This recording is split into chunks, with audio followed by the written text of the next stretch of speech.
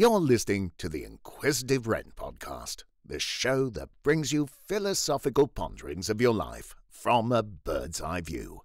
Now, here's your host, Sha. Welcome back to the Inquisitive Wren podcast. I'm Sha, your host. Thank you so much for joining me for the premiere of my second season. I am so grateful for the opportunity to continue to offer the podcast and offer what I hope are some interesting interviews for you all. This season, I'm going to be bringing you a mix of interviews as before, an eclectic group of people. I will, of course, continue to focus on artists and highlighting their work. Uh, this time, we'll be including musicians, uh, some surprises in store, uh, but also uh, we'll be looking at business as well. So, entrepreneurs, uh, people who are, you know, sort of just starting out or they have been doing it for quite a while. It will be interesting to see their philosophy, their psychology around why they have chosen to work for themselves and run a business for themselves. So I do hope that you continue to stick around. Of course, really helpful feedback. If you can, leave me a review. Certainly just email me, let me know what you think. I am very, very grateful to continue to be able to offer to you these interviews. And I hope that you do find them uh, entertaining. Today, I'm really happy to have as the very first guest for season two, Ursula James. Ursula is a visiting teaching fellow at Oxford University Medical School, and with her company, Thames Medical Lectures, She's lectured at most of the UK's medical schools, including Oxford and Cambridge. She was appointed visiting professor of clinical hypnosis at Robert Gordon University in 2013. Ursula is a very highly qualified and experienced clinical and medical hypnotherapist.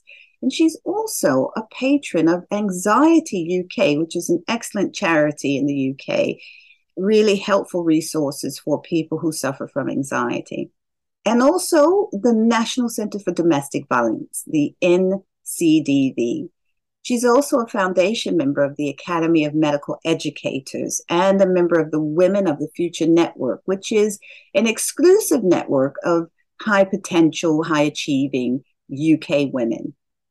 Ursula is an author and she's written several books, including a clinical hypnosis textbook her second book, You Can Be Amazing Transform Your Life with Hypnosis, and You Can Think Yourself Thin were published uh, in 2007 2008. Her most recent book, The Source, a manual of everyday magic, is out now, and that is uh, that will be in conjunction with the podcast that she's working on as well.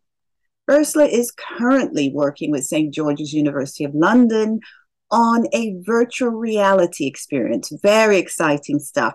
It's a stress management tool which has been designed to maximize relaxation and reduce tension. So she's going to talk about that today. This is innovative and it also really does highlight the benefits of hypnosis. So I'm very interested to talk to her about that today. She continues to train doctors on the use and benefits of hypnotherapy that they can incorporate in their own practice. Ursula has a podcast, HypnoSOS, offering many hypnosis sessions, which are really helpful for people who may be struggling, find themselves struggling with anxiety or, or paranoia or stress. So they're all available. All the links will be in the in the show notes. Today we're going to discuss her works, her projects. So I'm really pleased to welcome Ursula to the podcast. Ursula, thank you so much for joining me today. I'm absolutely over the moon that you took the time to speak to me today. I've got so many questions, so many things I want to talk to you about. It's so lovely that you reached out. Thank you. Thank you. So, you know, I want to start with your career uh, because you've done a lot of things the counseling, the psychology, the hypnotherapy, and you even had a brief stint uh, with the Ministry of Defense. So, Mm. What came first? What was the timeline like for you? What came first? Um, uh, after university, I sort of bumbled around being arty and uh, uh, working on a. I had a market stall selling selling things that I made. And um, after about a year, I thought, well, I really do need to sort of look at getting a proper job. And um, I, I, do you know, genuinely, even now, I wonder how it happened. I ended up working for the Ministry of Defence, um, and I think it's partly because I'm half German. Mm-hmm. And at the time, Germany was kind of, you know, a bit of a hot potato. And you know, I was, I worked for them and then the wall came down and it was all sorts of all sort of very exciting and interesting and awful it was just awful because i was working um, helping families who were moving abroad um, doing support for them. And essentially these were kids you know kids with guns and anger issues and women who got married very young and were taken away from their home. And so it, I, I, ended up feeling that i was supporting a, a, system that i didn't in any way agree with. Although they did teach me well they taught me good skills. I learned hypnosis initially when i was with the ministry of defense so that's um yes it's quite, it's quite an unusual time of, of my life yeah so interesting and did that then lead to psychology counseling I I segued into that. I, I as I say, I had I did quite a lot of the study there, and then I continued it privately. Um, but it was one of those things. I trying to find something that genuinely worked, as opposed to a bit of a sticking plaster.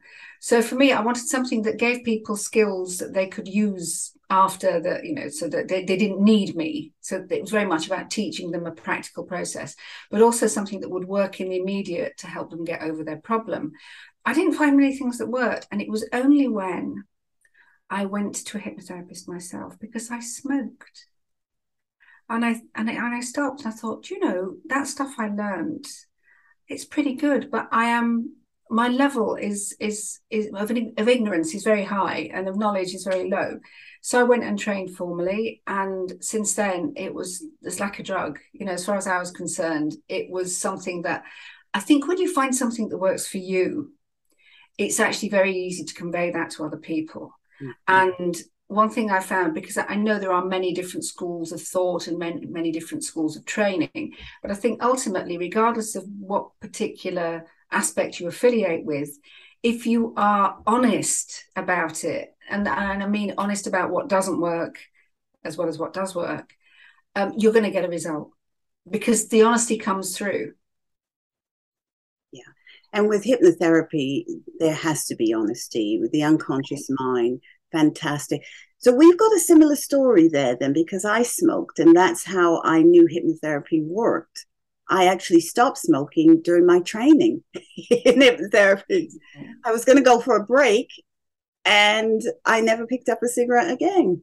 We did the- yeah, and when and when it works, you just think, okay, it's worked for me. It, I know it works. It's kind of you buy into that process. But I think as you as you grow and develop, and you learn different things about your, yourself, those things um, I won't say bleed into your work, but they become part of the work because if you're always being honest about who you are, you change, you develop, uh, you work with.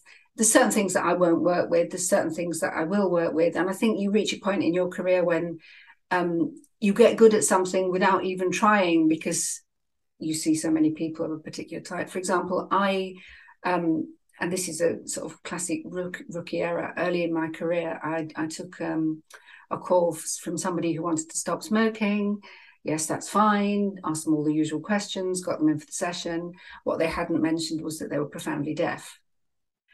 So I had to work with that. And so I helped her stop smoking. And she happened to be a um, representative in uh, in court if somebody was in court who was deaf. So she she did the the the um, communication aspect.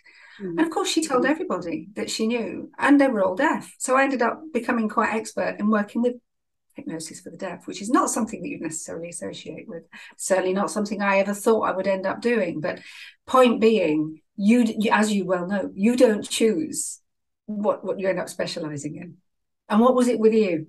Amazing stuff for whatever reason, phobias, but I've never had one. So I get loads of phobias, you know, and I'm sure you found this in the hypnotherapy practice. It goes in stages. At some point, I'll get loads of smokers, then I'll get loads of people who are phobic, and then I'll get loads of people for stress management.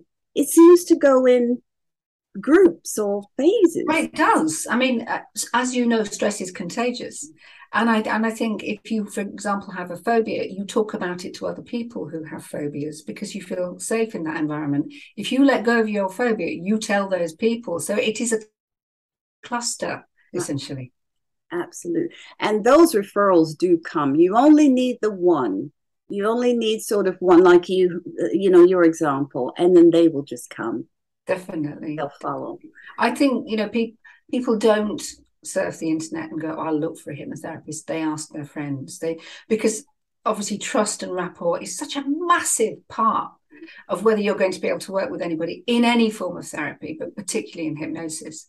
And if somebody you know has been to see someone and they feel comfortable with it, and I actually think working online is a benefit for most people because if their anxiety is going to a strange place to meet a strange person and the hassle of the tube or the train or whatever the journey might involve if they can do it in the in the safety and security of their own home and they have a button where they can just turn it off people feel more in control rather than less. And that i find a really interesting knock-on effect mm-hmm. of people moving over to a much more technological uh, arena. Yes that took me a moment. It was the counseling bit because I love being face to face, but we were forced to, and I would agree with you. And but it it did take me a moment. it took me a moment to get used to it. I like to see, you know, I like to be in front of people, but things and times have changed. Yeah, and yeah. And, and in a in a sense, it was at any time of crisis technology is accelerated and and who knew we would end up doing having a conversation like this. But i do think it's also um, an additional intimacy that we wouldn't have had. You can go uh, and email someone and say hey can you be on my podcast or, or can i talk to you? And if they feel inclined they'll respond. Yes. you know whereas you didn't have that framework before it was a, it was so there, there is a strange intimacy that comes from this this safety that we have of being in our little our little square. Yes, it is literally a square, a little square. I I teach at um I I teach doctors hypnosis. Yes. I also teach doctors how to use hypnosis for themselves. Okay. Uh, so to help them reduce their stress, to help them improve their performance, to help them improve their communication skills. Okay. And I've taught at 15 medical schools around the UK. And we're still teaching at Barts and we're still teaching at Nottingham. Yes, I've got and uh, now, bearing in mind I've been doing that for almost 20 years, um, the attitude of the students towards hypnosis is completely different to how it was when I first went in there. Their oh, attitude now is, yep, I get it, it works, bring it on, teach it to me they are they want the research they want to know the clinical background but they now recognize hypnosis clinical hypnosis as uh, an appropriate tool. And in the same way that we talked about things working for us stopping smoking for example when a medical student sees it working for them to help them reduce their stress with their examination nerves, they are much more inclined to use it and teach it to patients, for example, for pain control or for stress management. So I'm, I'm quietly, over the years, I've been quietly teaching doctors about hypnosis and to understand it so that they're much more inclined to refer as well. And what I'm working on now at the moment is a project with St George's Medical School in London, and it's using VR, virtual reality, and hypnosis. And that is wild. That is a really incredible uh, process because um, all interesting pieces of, of research and art and, and science happen on the edges you know when, when two things kind of collide. And for me i'm i'm a big techie. So although i hadn't really known too much about vr so getting involved in that side of things and putting the hypnosis together with it you're creating a completely immersive experience that is absolutely real and is completely controlled by that individual. It is not therapy. It is not an excuse for not having therapy. It's not an alternative for therapy. But what it is is it helps the individual um, get a mechanism of control, which if you are in pain or you are in um, a hospital environment or you are feeling anxious, any piece of control that you can be given makes a huge amount of difference. And that, along with the positive suggestions for change and improvement and focusing on the positive. So they're very short. They're they're only sort of um, 10 minutes long at most. So it's as I say, it's not a substitute for therapy, but it does give people something that they can they can really use and, and embrace. It's early days, mm-hmm. but I'm finding it really, really interesting because even in the in the initial piece of research that we did, the, the pilot study, there was only supposed to be 15 students, but they were bringing people along to try it. They were bringing their their consultants they were bringing their girlfriends they were bringing psychologists. So i mean normally when you do a research project you can't get people to get involved. We were kind of fighting them off at the door. So it was it just shows that a there is a real need for it and and b people are much more uh, open and accommodating you know they're, they're much more open to the idea of, of hypnosis as something that can really help and make a difference so i my aim is to just open the door a little bit wider because yeah. uh, it is terribly important that there are well trained therapy practitioners out there, uh, as opposed to people who do an online course or do a weekend and then just go out there and do it. And mm-hmm. even if you're already trained as a counselor, you know that you need a bit more than than a few weekends to understand this process as, as a as an, even as an adjunct to the work that you're doing. Absolutely, very innovative stuff there, really. I was quite uh, pleased, but also the research part, because that's always been one of my concerns about hypnotherapy. It's always, you know, for me, 26 years now being a hypnotherapist, every year we hear there's hope, you know, there's going to be some more research, there's going to be, and nothing. Yeah. Well, the, the fact is, until the way in which research is uh, is deemed to be acceptable changes, then there will be no advancement in the amount of research that's done out there, unfortunately, because you can't have a gold standard when a big part of what you do is completely subjective and dependent on, on the individual who who you're working with and on you. And that's why doing something that where the individual is removed from that process mm-hmm. means that we'll be able to move forward i hope fairly quickly in terms of getting some some research done that that will make people recognize it, it is something that, that works and can be accepted. Yes. So I understand that this was recent in July this year. Is it ongoing still? It's ongoing. We've, we've done a pilot study and we're continuing to increase it and hopefully um, possibly include an element for pain control and taking it onto the wards. So yeah, it's uh, it's happening. Research for me, it always takes longer than it than it than you want it to. You've always wanted it yesterday, but to do it properly and do it within a um, um, uh, a hospital environment or, or a medical environment is really really important because it doesn't matter how much work the psychologists do or the the mental health care professionals do until the medical profession accepts it as a, as a, a component it's not going to move forward. It's not going to be something that a doctor will be able to refer. I mean, you do get doctors referring. Know I've taught enough of them and they're out there, but it's not enough. Absolutely. So this work is extraordinary. And I'm going to put all the links in the show notes, listeners, so that you can have a look yourself. And you know, I ran across this note uh, from Milton Erickson, and I was looking at your body of work as an author.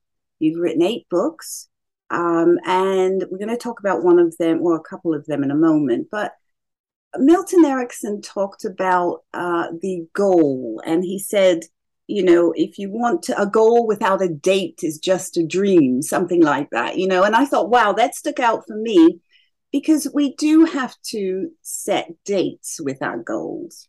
And I wonder, with all of your work, especially as an author, how do you get things done? What's your process? That's a really good question. Um, I'm incredibly anal and I'm very organized, and it all comes down to Excel spreadsheets. I hate to tell you this.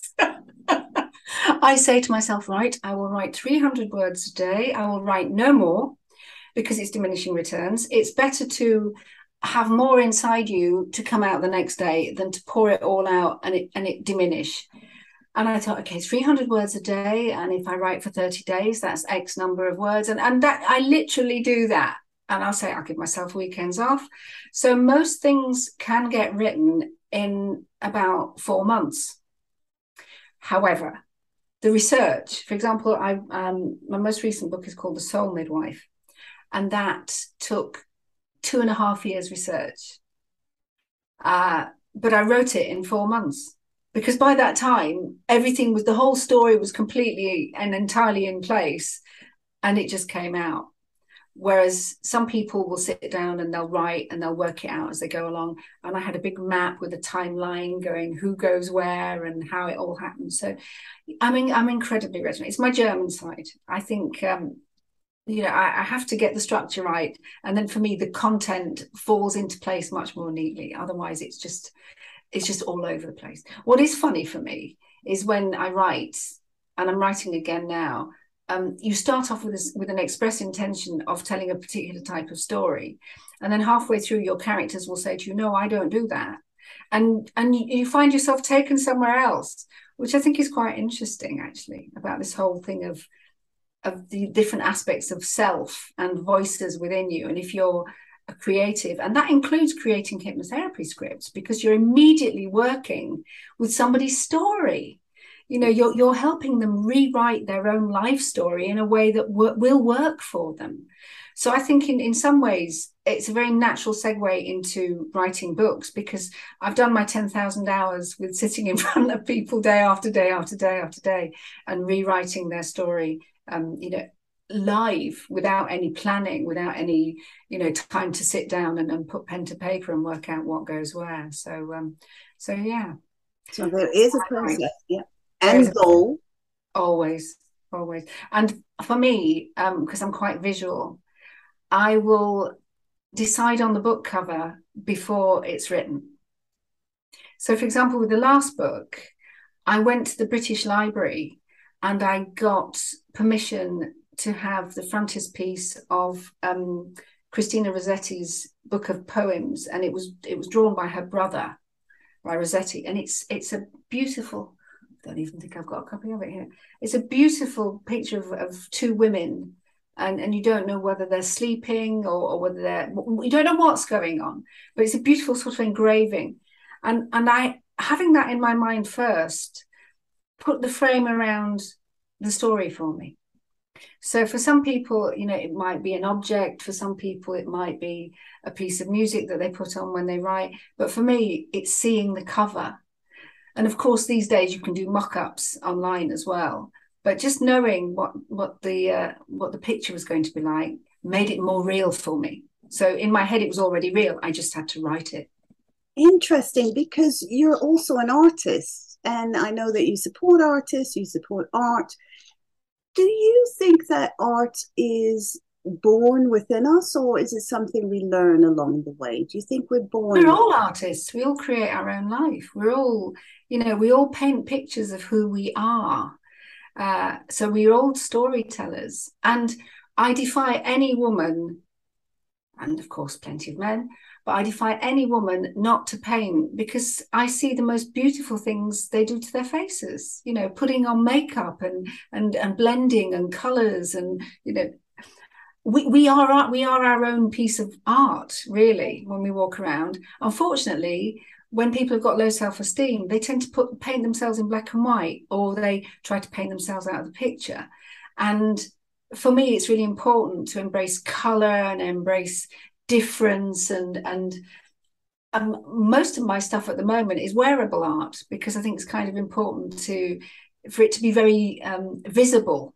Mm. The, di- the differences. And some people they ta- they have tattoos or it's all about you know d- defining yourself and that's what we do when we create. So I, I think it's innate but i do think unfortunately some people's lives erase that aspect mm-hmm. and it's important to re-engage with it uh, no, uh, I'm not just talking about art, art therapy, but it's really important to re-engage with it as a language and a way of expressing yourselves and, and reconnecting, particularly because of the, the architecture of the brain.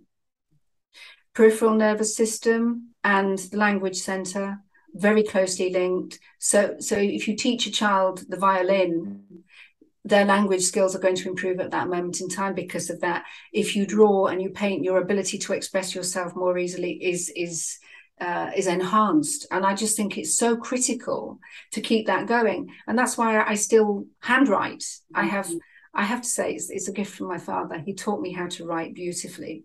And I think handwriting is something that's getting lost. You know, the, the act of motor, you know, mo- fine motor movement. So it's really, really important for me. That's why I encourage people to to be creative and to draw and to paint, and even you know, a doodle a day. Even if you never show it to anyone, I think it's really important to express your own creativity. A doodle a day. You said something really powerful there. Um, I don't want it to get lost. You said women either or anyone may even paint themselves out of the picture. Yeah. It's very powerful. And they do. And they're not even aware that they've done it. You know, even even in the way in which somebody carries themselves, you know when you see somebody for a number of sessions, you you watch their body change shape. You hear their voice change. You look, at their eye contact changes. They are, they are, they are finding their space yeah. in the world Mm-hmm. And it's it just makes me really cross and sad and angry that it's still happening. You know, it's it, having somebody in your life at an early stage who is encouraging and it just says something nice. You know, how many times you hear stories of people who say i became a chemist because my chemistry teacher was nice to me or he was good or or she encouraged me it it's you know seeds at the early stage of growth need the most nurture and this is why i feel it's incredibly important to um to pay attention to kids no matter how strange and wonderful they are. I i i, I it's, it's a funny thing i don't have children but children seem to like me and i think it's because they see the child in me um and i and that's to do with honesty mm. and i mm. think it, kids pick up if you are not being truthful, if you are not honest, or if you are in it and they see it as danger and they will remove themselves from that situation. So, and we lose that as well. We lose that skill. That kind of gets talked out of us. The idea of intuition, the idea of, you know, picking things up, the idea of having knowledge that other people don't have. Well, I'm not a magician. I'm just observant. You know, a lot of people aren't. They don't see what's in front of them. Incredible. Never miss a show by clicking the subscribe button right now. Thank you for your support. You make this podcast possible. Now, back to the show. Is now, you know, in the source, you talk a lot about uh, having that. Another Ursula, by the way, uh, who I wonder if she was that for you as well on a spiritual level, but also a, a teaching level, perhaps a mentor in many ways. I think uh, if you don't have someone who supports and and talks to you in a way that you you want to hear, if you have intelligence, you'll create it. And I don't I don't mean intellectual capabilities. It's it's kind of a an intelligence that is innate and we are not very good at listening to our own voices. We will listen to a voice from within that um, we read in a book or that reminds us of something else.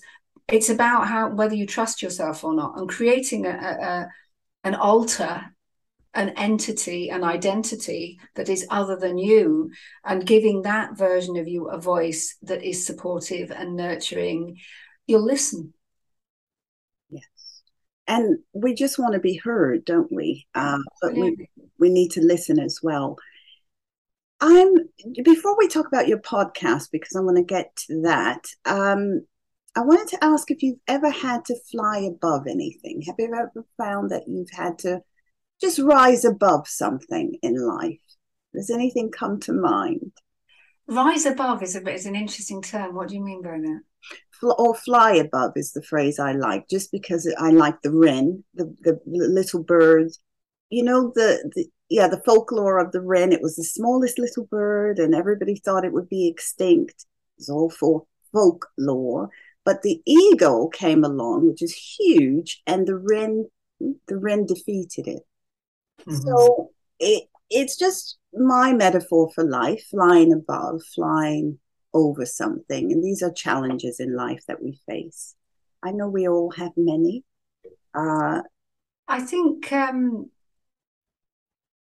it's interesting you talk about flying above, and I would say flying within, because when I was finishing the source, um, my mother was very ill, my father was very ill, my brother in law was very ill, my aunt was dying, and I was caring for all of them and I was finishing the proofs of the book, and my aunt was was had died, and it was just before I had to finish the book. I had to get it out to the uh, to the publishers um, before her funeral. So she she was still here, you know. She, as far as I was concerned, she she wasn't gone until the funeral.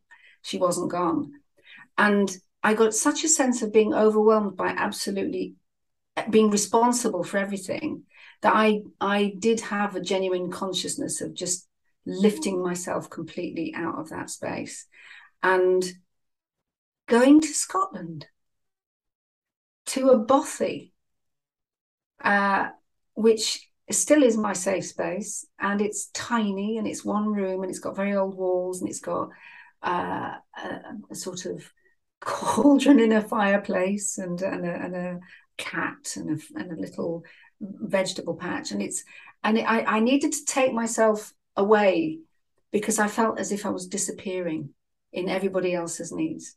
So yes, that was a time uh, when I did that, and it was it was essential, and it and I think everybody should have a safe place. Mm. Everybody should have a place that they can go to in their mind where nothing can touch them Yeah. and you write a lovely tribute as such to her in uh, the source as well. And um, what drew you to the idea of magic? Because the source is all about creating your own magic. Well, you know, we talk about voices and about being prepared to listen to things. Essentially, there is nothing in my book that isn't common knowledge. Mm-hmm. There is nothing in there that you couldn't find in different forms but it's about the voice that delivers it. And as a as a student of that voice, and in other words, having gone through that process, there is an element of integrity that comes in there as well.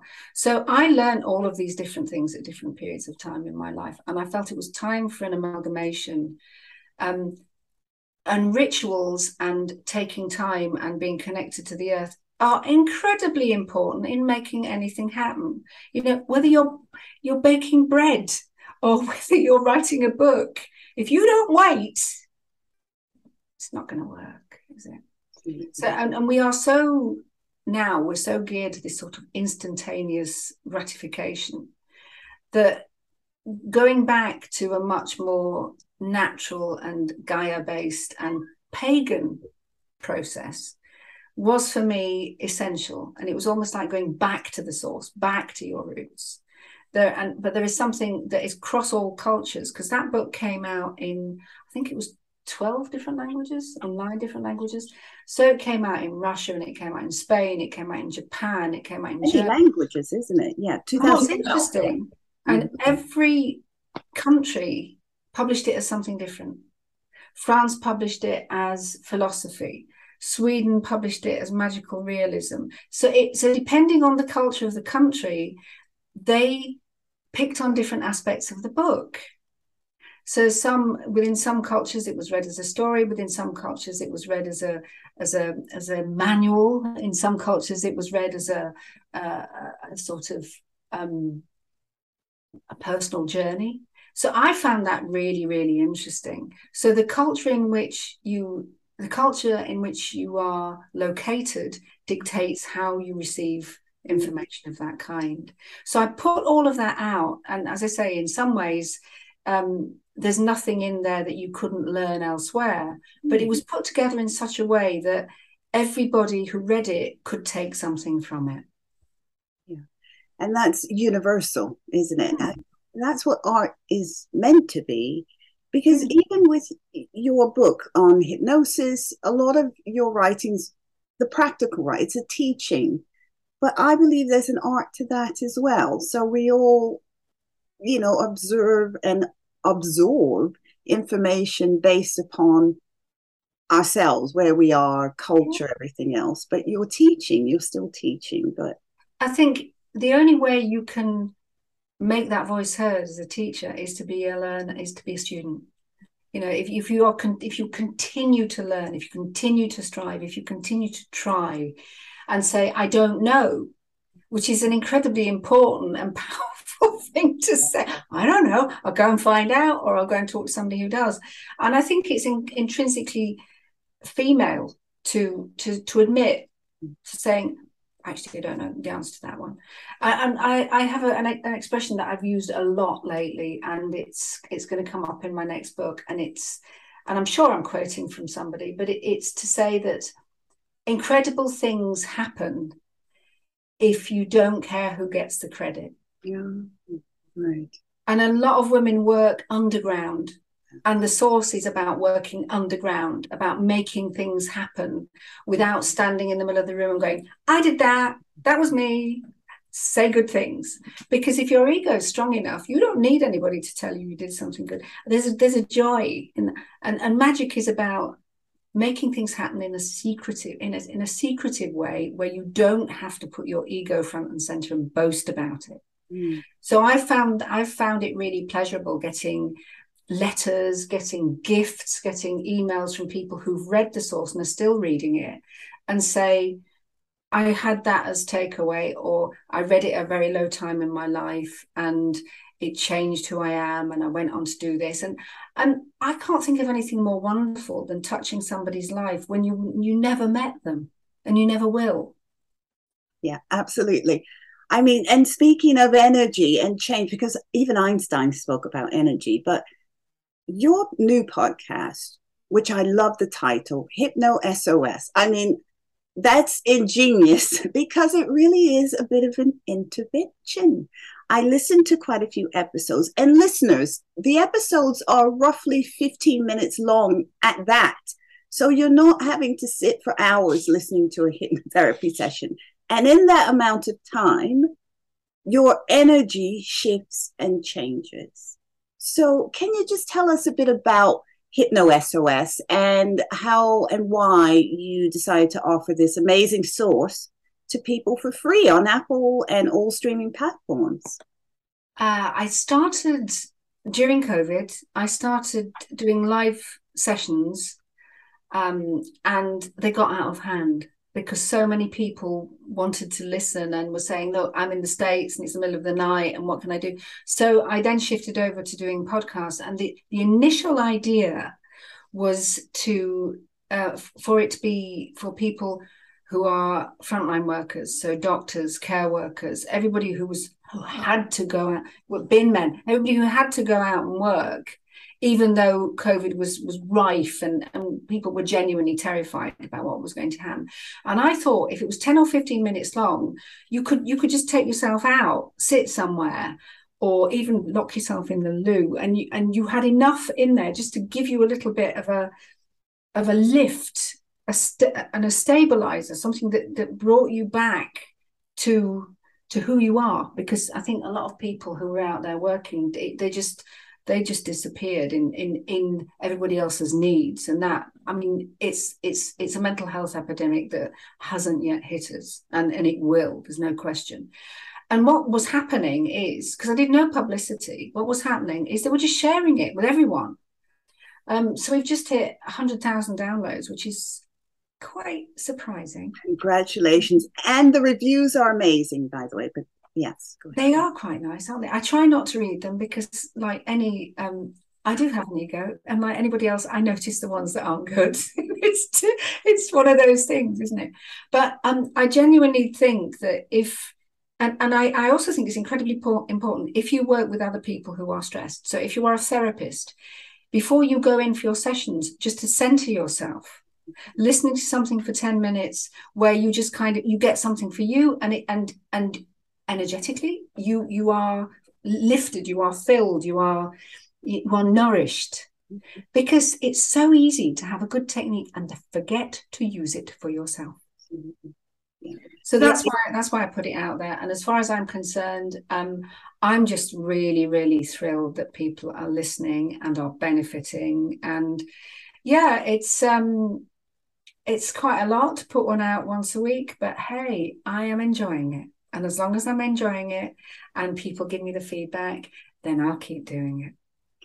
It is an amazing source to have. Uh, and so you can you know, for, for us who are trained in hypnotherapy, I will say it's all you need, really. You don't you don't even need to go to a hypnotherapist and sit for an hour and a half or anything. You can listen to one of those. You've got different ones. So see what you're drawn to and they're all listed there, but they are fantastic. And of course you've got a hypnotherapy voice. So Thank you. It's really kind of you. Everybody. I am. Um, I, as I say, it's not a substitute for therapy. It is very yes. much about giving you control back, and it's about helping you get through the immediate. So things like better sleep, controlling anxiety, motivation, stress, and those are the four that keep coming up time and time again because those are the four that most people um, have the have the direst need for.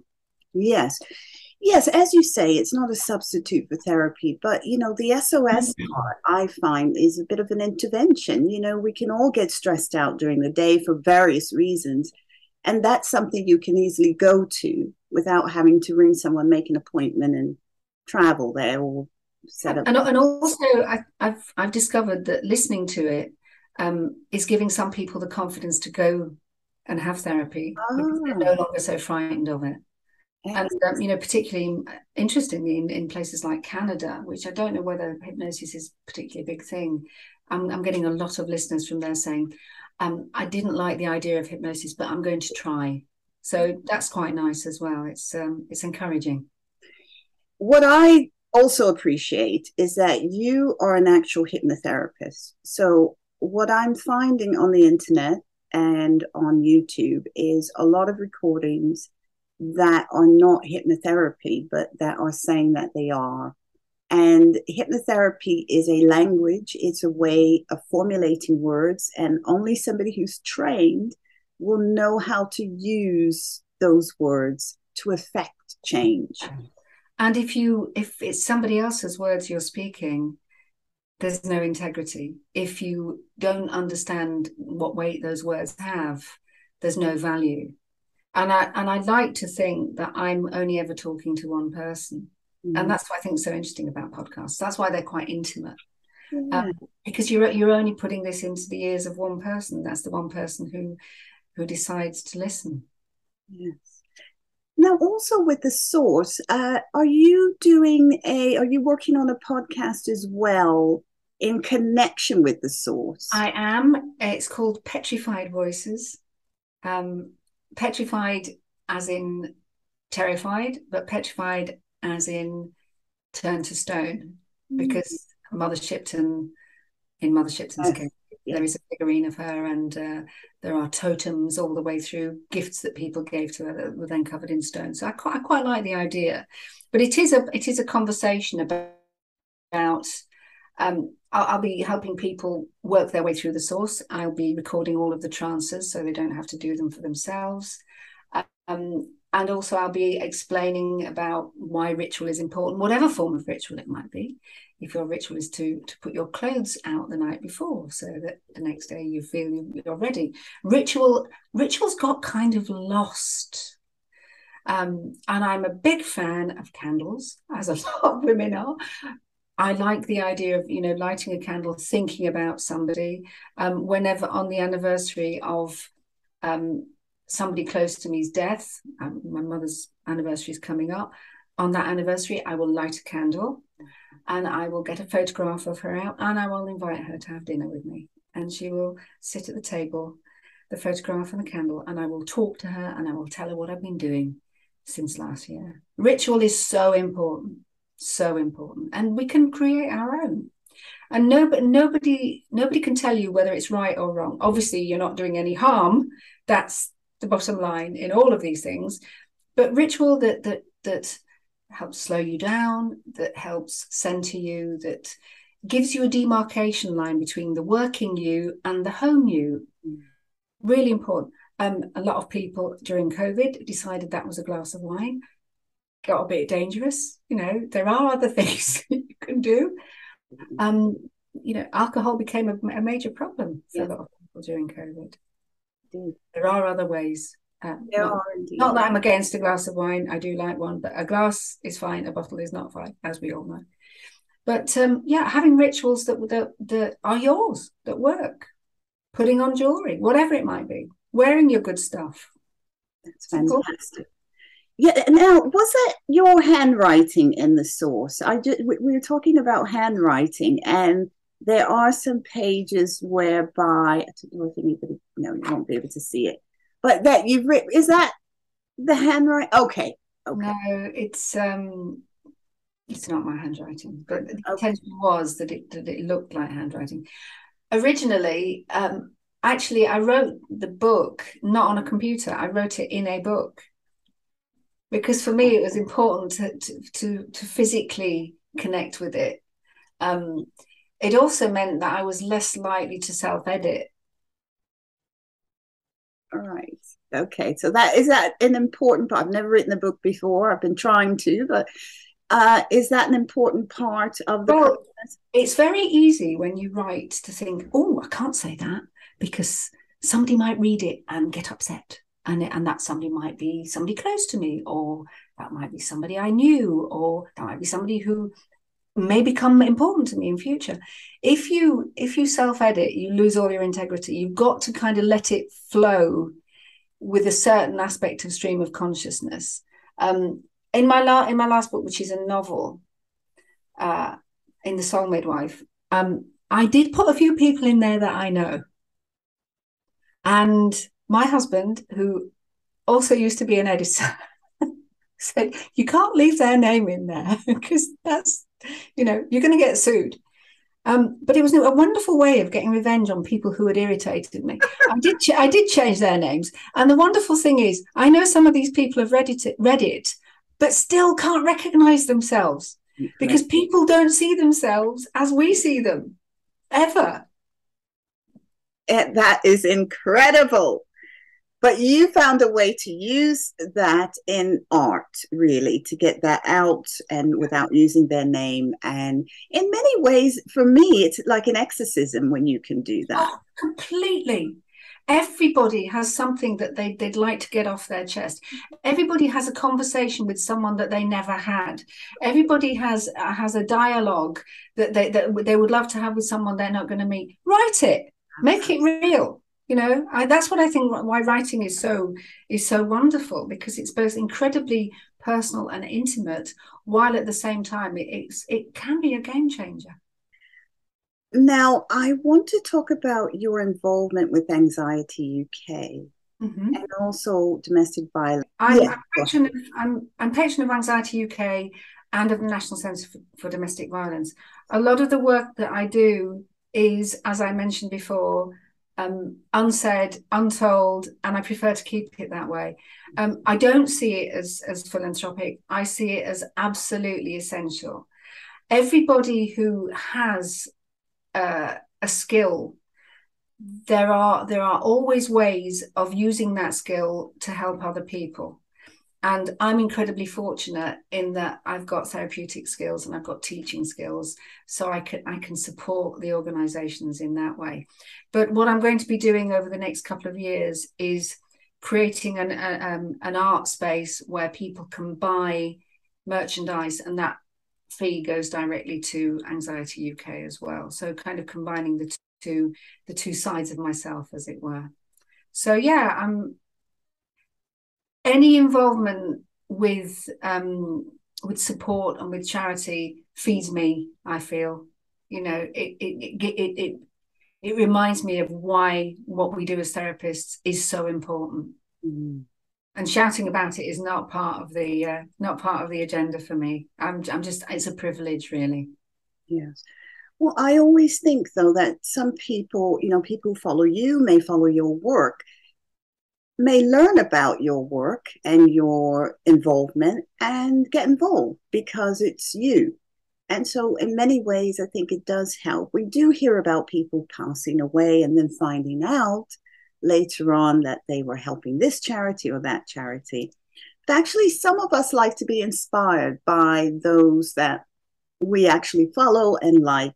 And so, well, the main thing for me was um, when I had my initial involvement with Anxiety UK, helping set up a process where hypnotherapy practitioners can volunteer, can be AUK supporters, so can support people who've got anxiety.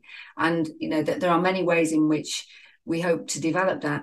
but the problem is, and always was, and has got worse, is financing it. Mm.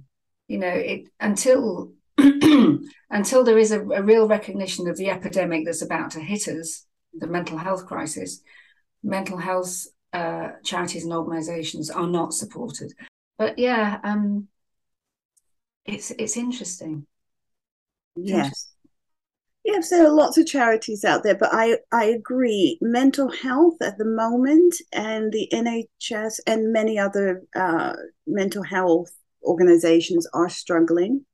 Um, I know because I do advocacy work. So it is very difficult for people. Some of the jobs as well, mm-hmm. people aren't taking because they're very low paid. Absolutely. Well, that's the reason why HypnoSOS became important, so that people could actually access some helping supporting the supporters helping the helpers whatever that term might be because if if those people aren't there there is there is no nhs don't get me onto that subject because i'm you know i'm it's one of those things they should be paid a fortune people who work within the NHS. It makes me so angry. But, you know, how do you make change happen?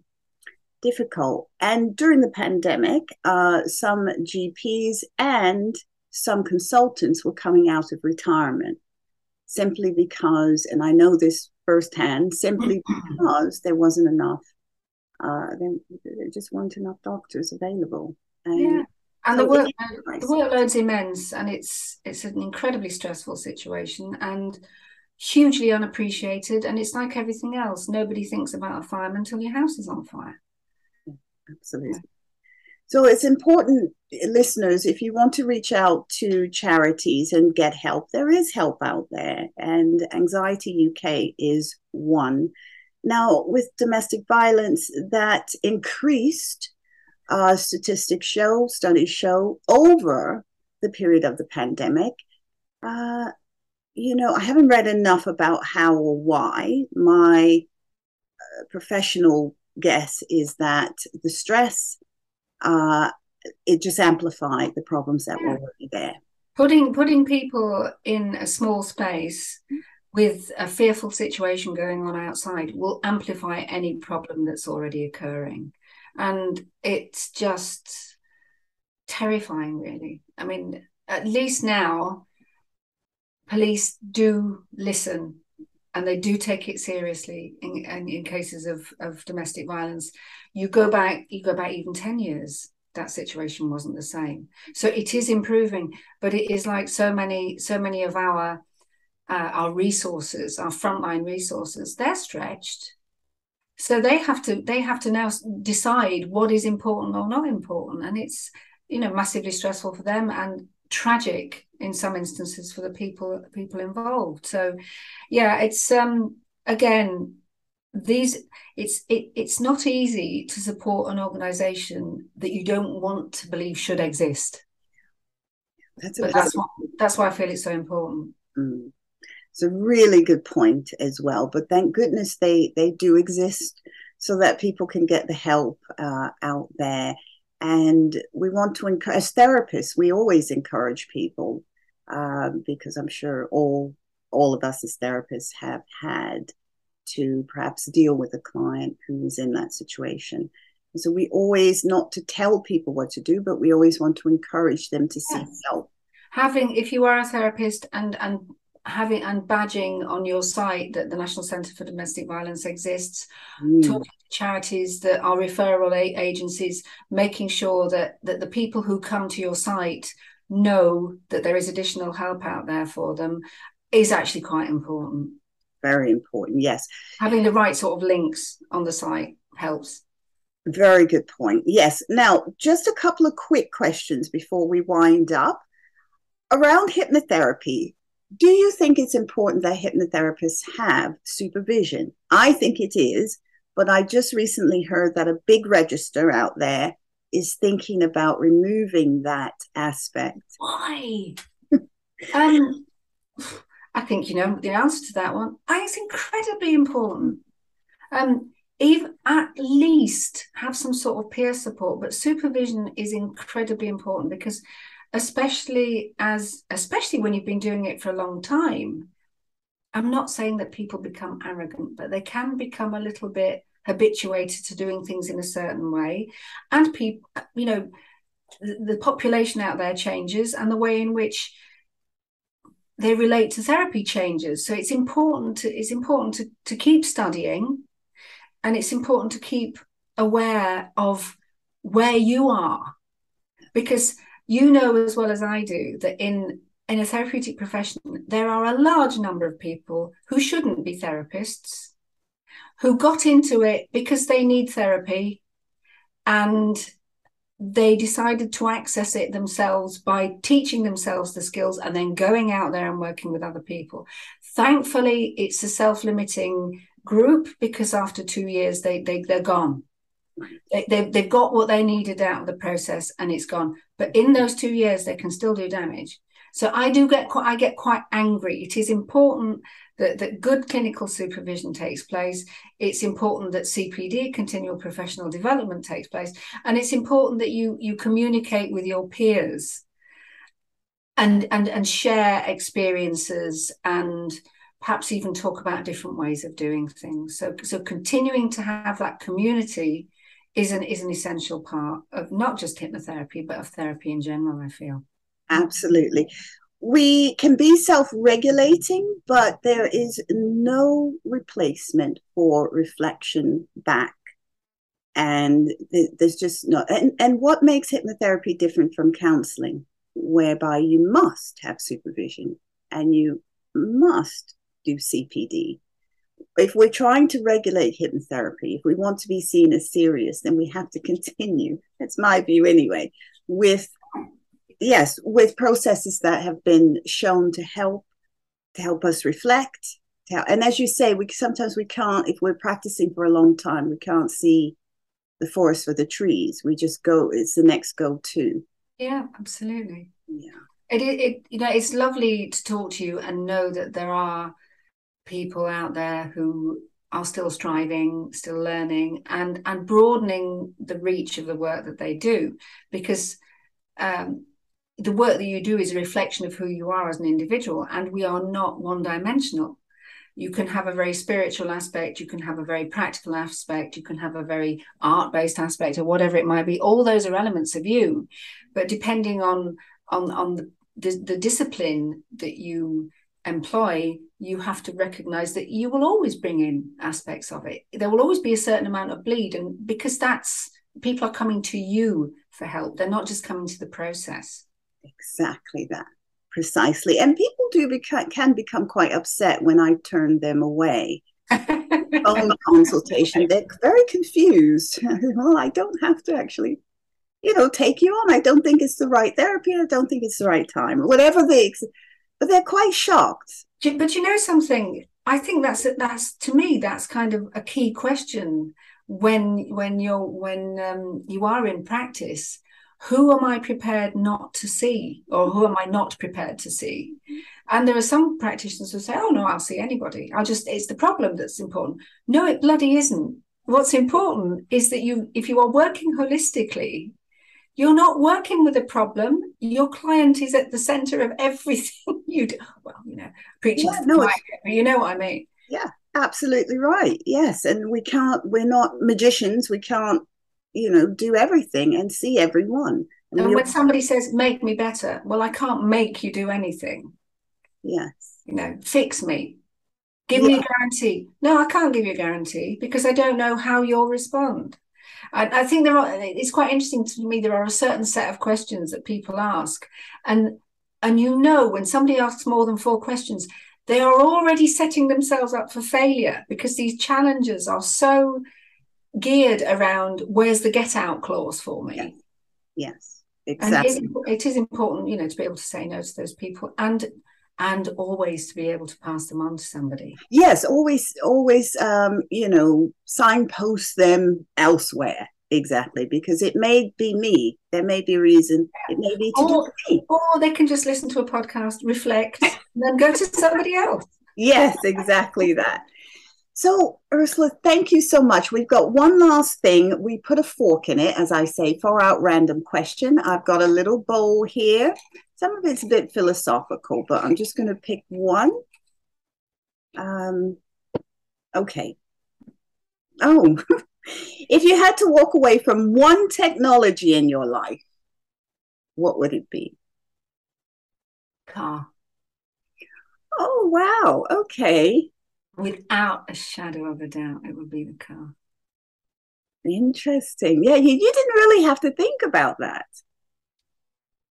No, because when you no longer have a car, you you connect with nature in a completely different way. Whether you're walking or you're cycling, uh, being in a car, you're in a bubble, and well, it's a piece of technology that kills a lot of other people. It kills the planet. I I would I would happily say goodbye to the car.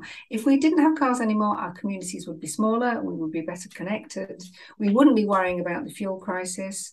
Um, yes, of course, you know, we, we there there is a requirement for vehicles to carry food around, whatever. But but ch- I think it would be it would be the, the biggest transformational change if we walked away from our car.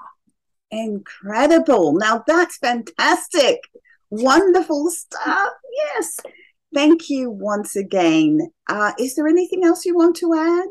No, except to say you're delightful. Keep doing Oh. what you're doing. Thank you so much. And you are as well. Guys, please go to Ursula's podcast, and all the links to her website and everything else will be in the show notes. Thank you so much for joining us today, and we'll see you soon. Thanks so much for listening today. Make sure you subscribe and follow on all streaming platforms. Leave me a comment and also let me know if there's any particular topics you'd like me to discuss. See you next time.